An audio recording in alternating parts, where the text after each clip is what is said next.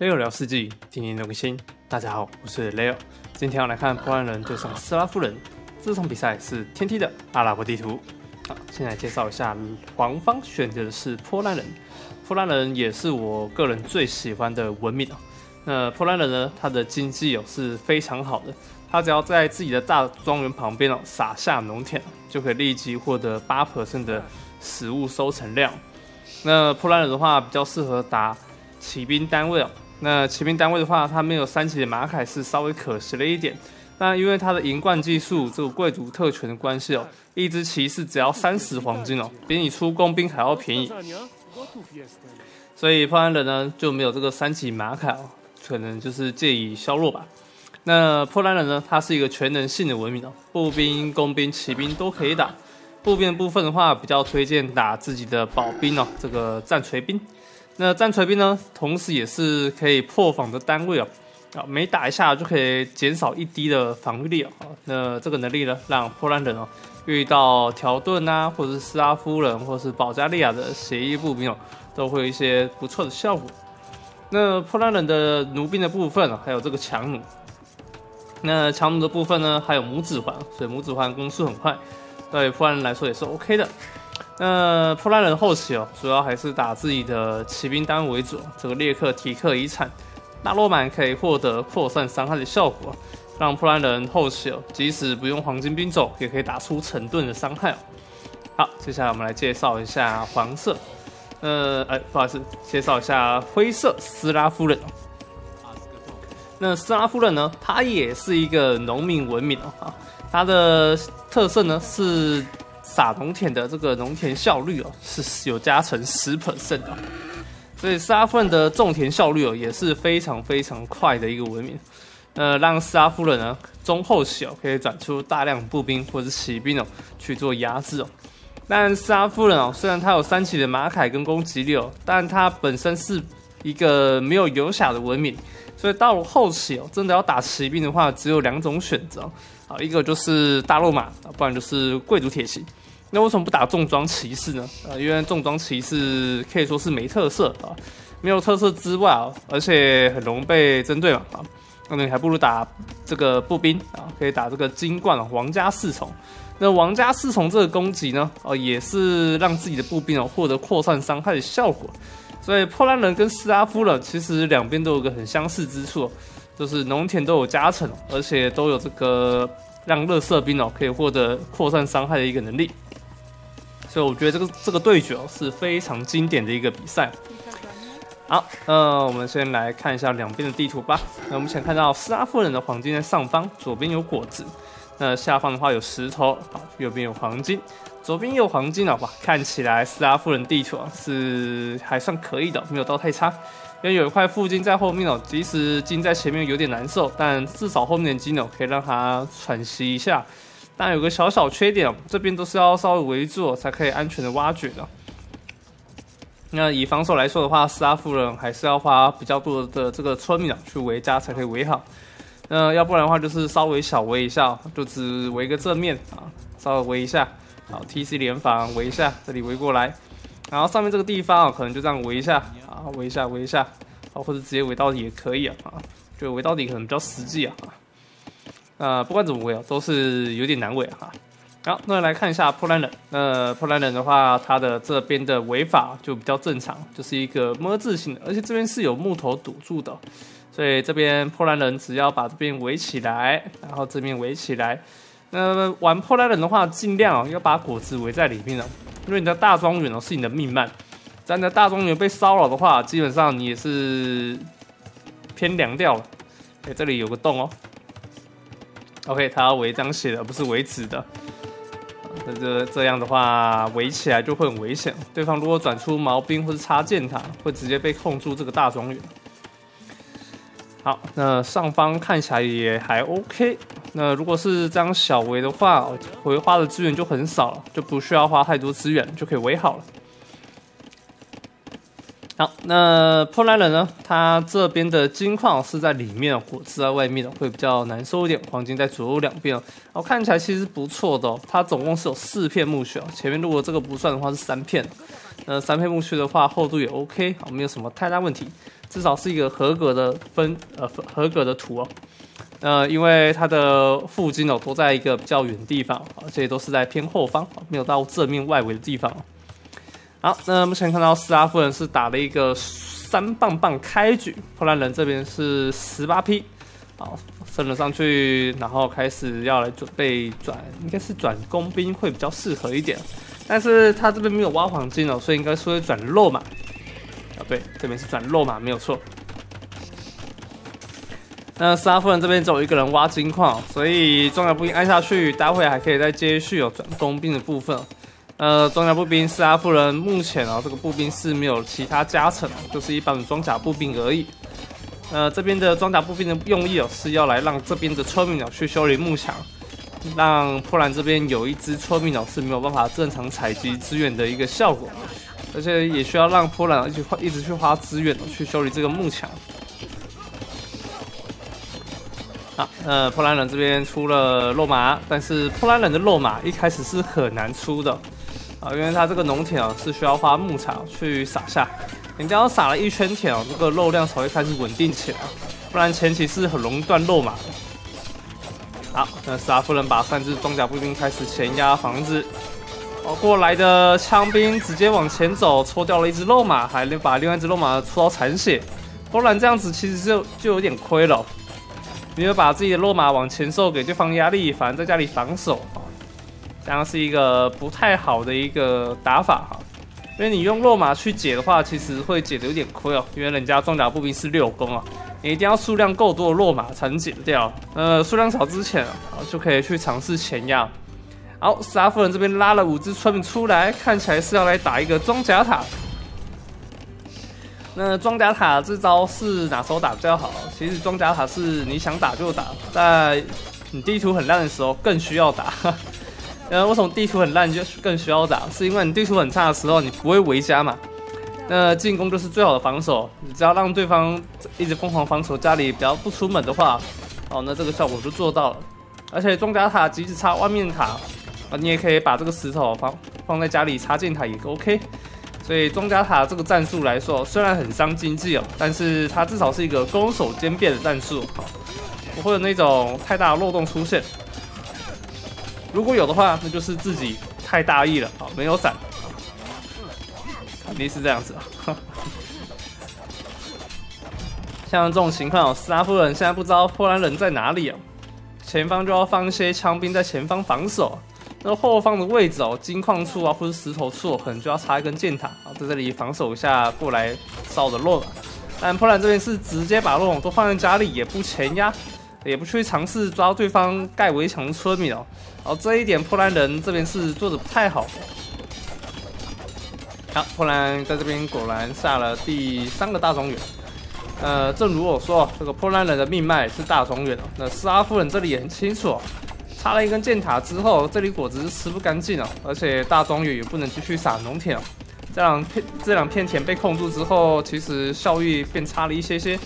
但还好，斯拉夫人拉着四村哦出来盖箭塔，然后在里面射箭矢哦，其实没有做到其他的经济效益哦，就是要拖他时间哦。那这样是打的还不错的哈。好，这边毛兵直接往前，第一时间是想要去攻击后方的枪兵，罗马直接到了后方，好，直接打了前方的装甲步兵。我觉得毛兵直接点后方的枪兵就好了。枪兵一结束，让罗马原地开打，加上一些村民的伤害，这一波要拿下来应该不是问题。这一波破案人拉的村民数有够多，大概拉了四五村左右，六村哦，这么多。好，那这里有一只村民可能被射死，哇，减一村，但里面有四只村民来得及跑掉吗？波兰这边还有五只肉马，但这边有些肉马显然是有点残血的，斯拉夫人会不会回头反击呢？还是直接全部要吃掉？我们就来看这四只村民可不可以换掉呢？哇，看起来有机会哦。好，罗马继续往前，遇到枪兵，我觉得也不要管枪兵的，直接收村民比较重要。硬吃这个枪兵伤害哦，换掉四村哦更赚哦。好，那剩下两只村民，呃，两只肉马，哇，被抽掉剩一村，那还有一村走掉了，应该是 OK 了啊。但是这样子三比一的一个交换哦，斯拉夫人其实经济会很差。但目前看起来，斯拉夫人的资源呢，还是挖了太多石头造成啊，这己经济没有那么好。而且这四村哦一直在移动跟防守啊，所以也没有挖资源。现在破烂人这边的资源量基本上是可以稳定升到城堡时代了。好，沙夫人这里点下了一级农，然后点下了城堡时代。我刚刚想说他其实应该可以点城堡了啊，稍微买卖一下，OK。好像也没有买卖吧，直接点上去。好，破烂人这边也可以升级城堡时代，两边时代差距不远啊，大概都在一分内而已啊，四十五秒。好，这里还有一村没有想要回家的意思。那斯拉夫人在这几次改版哦，老头有新增一条能力哦，是移动速度增加二十粉色的效果，让这个能力呢，让它变成老头移动速度最快的文明了。哇，结果第四只村民也是被收掉了。哇，这个想要在外面偷搞事就失败了。那如果这只没有这只村民没有被收掉的话，就可以往前前要盖这个伸头战术。沙夫的伸头战术也是蛮厉害的。现在有这个老头的移动速度加成，而且工程器单位又很便宜哦，所以沙夫人城堡塞打伸头是不差的。那目前看起来，沙夫人这边是想要去插城堡，而不是要盖工程器制造所。好，直接打一个保压。那破烂人这边升时代有点慢的关系，所以没有办法第一时间去补下自己的骑士。好，但城堡时代也升级好，终于可以按下骑士了。但是这里的枪兵一直在骚扰当中，这边肉麻送掉非常多的数量。这边破烂人第一时间升下了二级色，开始转出来的工兵，按两只骑士想要来反击一下回去正面的枪兵的问题啊。好，史拉夫人这边果然转出了老头开局。那破烂人如果看到双修道院的话，应该就心知肚明了，自己就可以考虑转个落马开，然后转工兵也都 OK。好，这边第一时间老头一出来就被这边三支骑兵单位给收掉了。沙夫人这支骑士非常气愤，但沙夫人城堡位置选址还没有决定，但破烂人已经决定要盖在上方的位置了。那下方这边大庄园就可能就会有点危险喽。好，沙夫决定要盖在中间这个窄口。这个有点有够窄，好，那这里有两只工兵在这边可以去射村民，阻止对方盖箭塔。好，城堡终于盖好。那如果我这时候我是破烂的话，看到你在这边盖城堡，我后面就会马上补一个工程器制造所，马上出冲车开始输出。好，但是对方也可以产这个生产这个骑士哦，或是贵族贵族铁骑哦，在这个城堡里面啊。一出来就把这个冲车打掉也是 OK 的哈，所以目前看起来波兰人是并没有想要先拆掉这栋城堡，而是选择要来打一个开农路线。好，这里骑士又再次被招降，但是这次顺利的把自己的骑士给 delete 掉了。好，村民还在努力的盖城堡，工兵还在继续骚扰当中，城堡趴数已经来到了八十八 percent。后面两只骑士很努力，好，结果这里有一只工兵被招降走了。好，这时候才补下了一个工程器制造所。那工程器制造所里面的冲车至少要四到五台哦，会比较好一口气拿下这个城堡。因为如果你陆陆续续出来的话，对方很轻松就可以用自己的骑兵单位或是贵族铁骑直接慢慢收掉这个冲车。那数量一多的话，对方也会来不及反应的。好，破烂这边点一下了肉马的升级，后面大众继续撒，可以这个大众园直接撒到这个边边角角，决定只撒五片田也甘愿。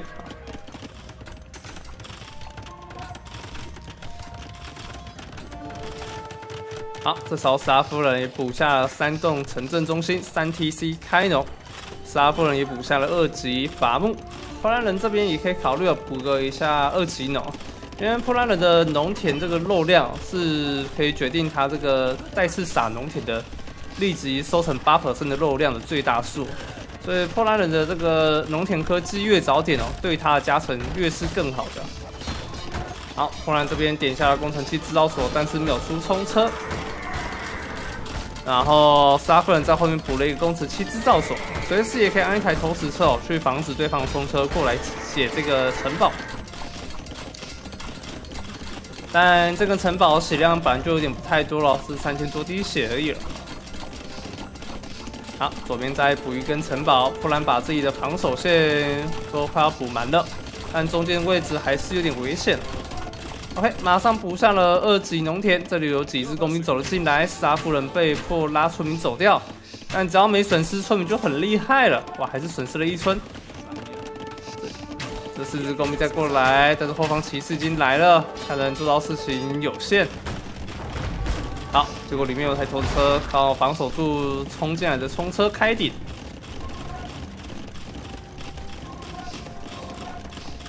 那目前看起来，沙夫啊是要打一个贵族铁骑，开始慢慢转出贵族铁骑。然后看到里面有有一根旗子哦，他可能意识到这个里面有冲车哦，所以已经开始囤一些贵族铁骑，在前面预防哦对方的一个压制，冲车压制城堡。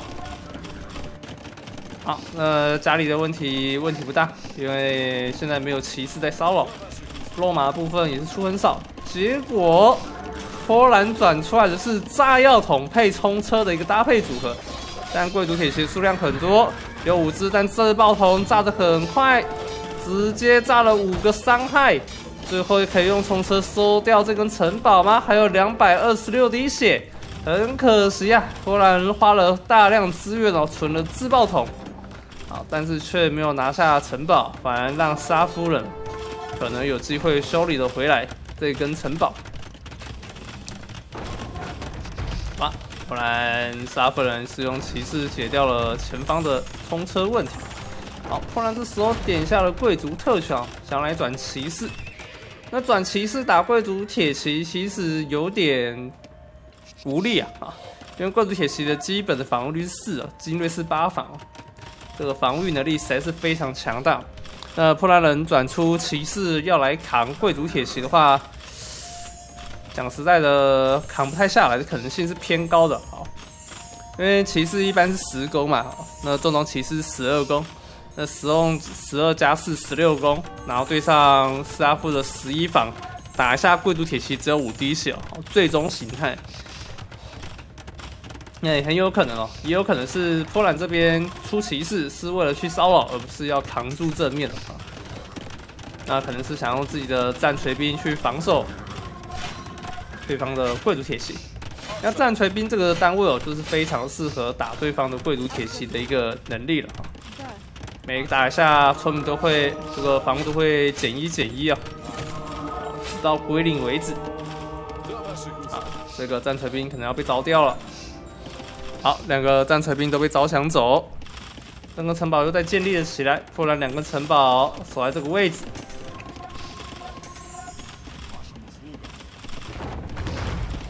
好，这时候按了三台、四台、五台、六台的冲车，太狠了！斯拉夫人这时候补下了一级的马凯科技，突然则是二级马凯已经升上去了。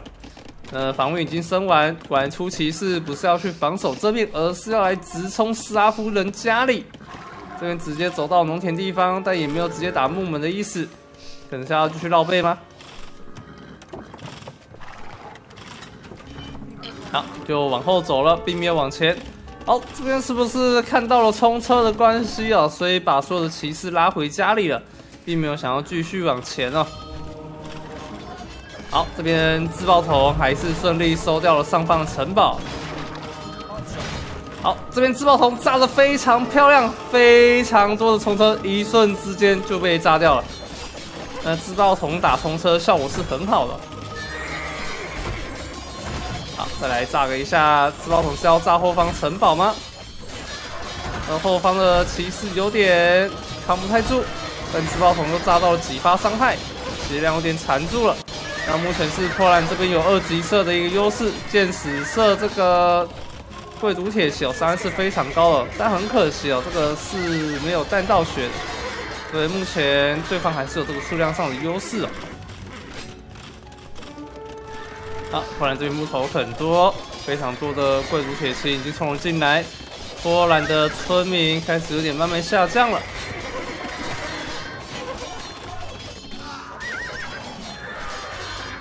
哇，这个贵铁好强大，好能扛啊！好，后面还有少量骑士继续追逐当中，但剑石果然打这个贵族铁骑很痛。贵族铁骑是蛮害怕剑士的，但是他的防御也是正常的骑士二防。好，这两根城堡还在互射。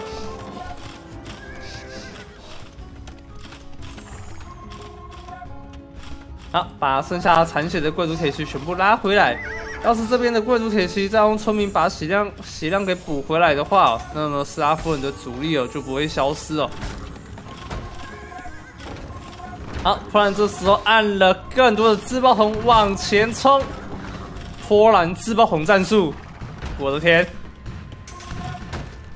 有料吗？来一发。OK，炸掉了这里的自爆筒啊！这个城堡终于拿下了。这个自爆筒打得非常精锐啊！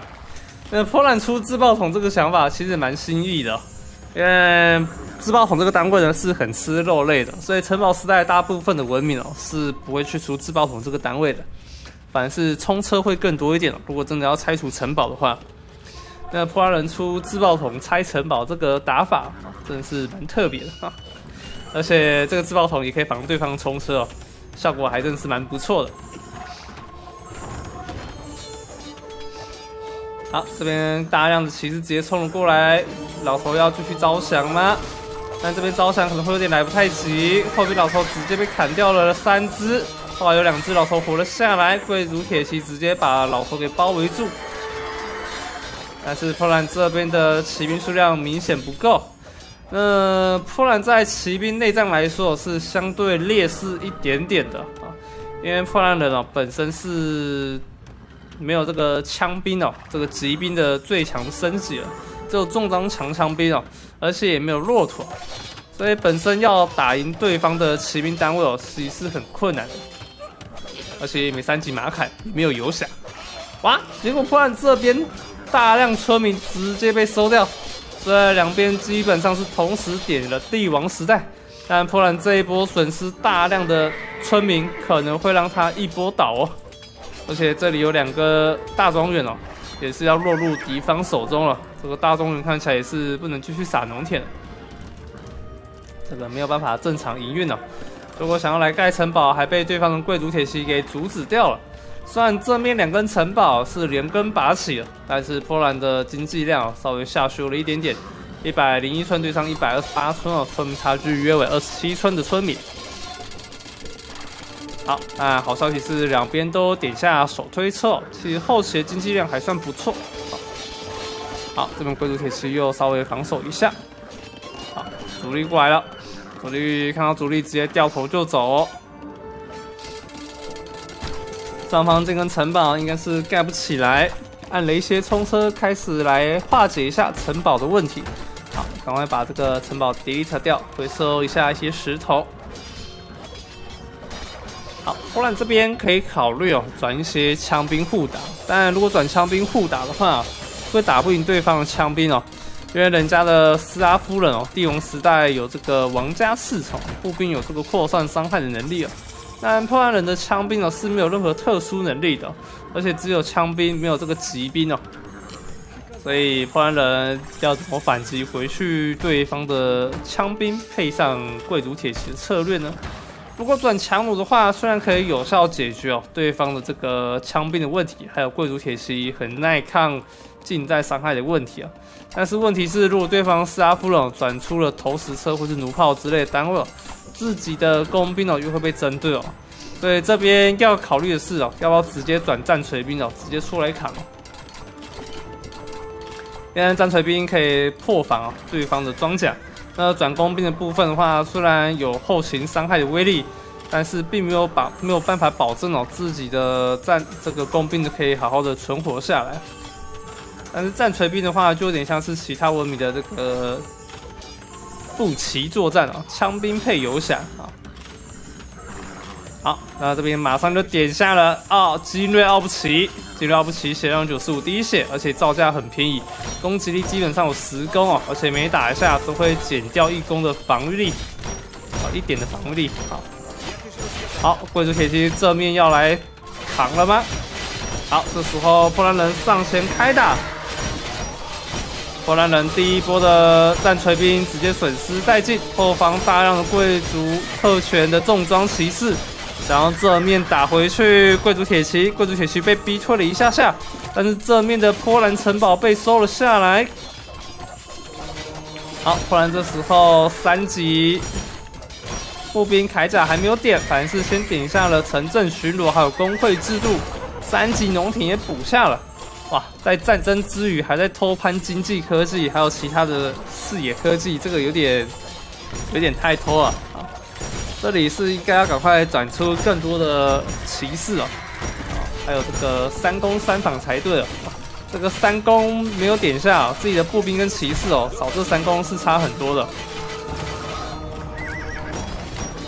这里有一千八黄金，但是有点难花掉，因为波兰的兵现在都很便宜哦。这个成本造价都不超过三十黄金的情况下，要花完一千八是还需要一阵子的。好，正面大量的冲车冲了进来，而且上面装载了非常多的枪兵哦。枪兵一下来，开始对着波兰的贵族特权的骑士进行大量输出，而且这里是个窄口，后方大量骑士都在后方发呆，没有办法正常输出哦。哇！结果这个交战让波兰的正面部队损失殆尽，但是这边也是拉了一些骑士到了斯拉夫人家里做骚扰，但沙夫人的防守也是做的密不透风的啊，马上就收村了，而且有风扇风险了，让所有的村民哦都可以尽可能躲到城堡里面啊，不是城堡里面，这个城镇中心里面。好，波兰这时候补上了征兵技术，想要来增加一下产兵的速度。但是这一坨的重装骑士哦，本来从的二三十只哦，现在只剩下七只了。打那堆枪兵哦，打了这么久，这个对斯拉夫人来说是很赚的。好，那波兰人这时候还是没有点下三攻三防，步兵的铠甲也是最重要的三攻三防都没有打，忙着在控兵了。结果斯拉夫人这边三攻已经好了，而且步兵铠甲也早就已经升好，那三级的马卡也正在路上了。那波兰人这边呢，则是还在点奇怪的东西。好，虽然这里有三个城堡出战锤兵，效果非常的稳定。好，可以先补了一个三攻。那待会的防御力哦，我觉得要优先升级这个步兵铠甲。呃，弓箭铠弓箭的伤害哦，先暂时不用去补。虽然提升箭矢的话，可以提升自己的城堡的射程跟威力啊。好，但是波兰这时候突然打出了巨巨，哇，这个没有办法，这个大众人被屠了一波，村民数下降了一些些哦，变成一百零二村。这面的贵族铁骑的数量实在是太多了，这个大量的战锤兵哦扛在这面哦，但是贵族铁骑丝毫。呃，好，呃，丝毫无动于衷。好，虽然自己的防御力哦被削减到变成八减六，防御基本上快要归零了，啊，也是两滴血，但至少还是扛下了非常多的伤害啊！啊，一直战锤兵靠这个贵族铁骑靠了六下，他的防御率才快要变成归零状况，那样子其实要打掉大量的斯拉夫的贵族铁骑还是需要一段时间的。那破坏人这边转三级射的话，也可以考虑一下，是因为打这个战矛兵啊。啊，或者是打一些弩兵哦，在后面偷射，补一下这个战锤兵的伤害哦，其实不错的。然后甚至自己的骑士哦，可能也不用出了哦，直接转一个奥布奇战锤兵，然后配强弩，还有大洛马列克提克遗产，可能会更适合遇到斯拉夫人死的一个策略哈。好，我们来看一下经济的部分。那经济的部分是由波兰人拿下木材跟食物的胜利。黄金则是由斯拉夫人拿下，大概约八百左右黄金哦。两边的经济量差不多，但是波兰人的肉量或许哦实在是太夸张了，三万英跟两万四哦，这个经济差距哦，差距大概六千左右吧啊。这就是为什么我一直说波兰人是世界帝国里面哦采肉最快的文明哦，连斯拉夫人哦都有点快追不太上。呃，你要看哦，斯拉夫人这边是都已经打步兵跟骑兵了，肉量吃到最满的那一种，但是却还是输给了波兰人的开农的实力啊。好啦，那么今天影片也就差不多到这喽。那如果喜欢这部影片，请记得帮我下订阅，我们就下次再见了，各位拜拜。